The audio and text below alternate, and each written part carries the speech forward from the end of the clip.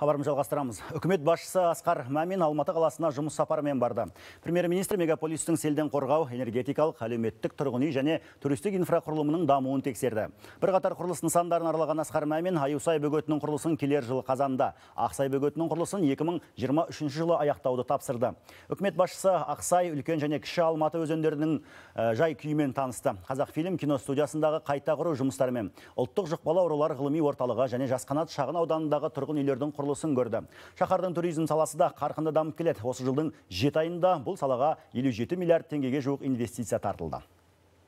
За последние три года мы... Соңғы үш жылда 500 шақырымға жуық тау жолдары абаттандырылды. Орындықтар, ақпарат тақталары, бағыт көрсеткіштер сынды қажетті құралдар орнатылып, көпірлер салынды. Биыл қосымша тағы 172 шақырымда абаттандыруды жоспарлап отырмыз. 1000 шақырымға жуық жол цифрландырылды. Бұл бағыттағы жұмыстар жалғасады.